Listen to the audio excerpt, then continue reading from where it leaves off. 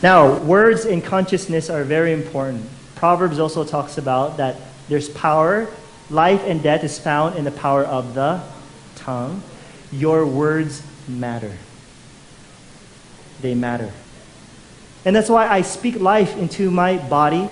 I'm not going to let the circumstances dictate my life. I will, in a sense, run, of course, with the wisdom and the grace of God. I'll know that I can live a good life that's prosperous and satisfying. You're speaking it into existence. The Bible says that God spoke in Romans chapter 4 that God spoke things that are not as though they were. And many of us are speaking things into existence that are negative. Your consciousness, what you believe, will affect your environment, it will affect your surroundings. That's why I speak life. I'm rich, I'm prosperous. We have more than enough. We have more than enough. Why? Because if I only had enough, I cannot give. Right? These are the things, folks, we need to speak life. You know, there's a saying that says, that which you resist will persist. If you are always against something, it's going to keep on going.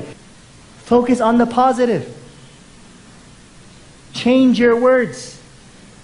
I am healthy, I'm strong, I'm living life of abundance. My parents are strong, my parents are well. Today's going to be a good day, and I visualize my day.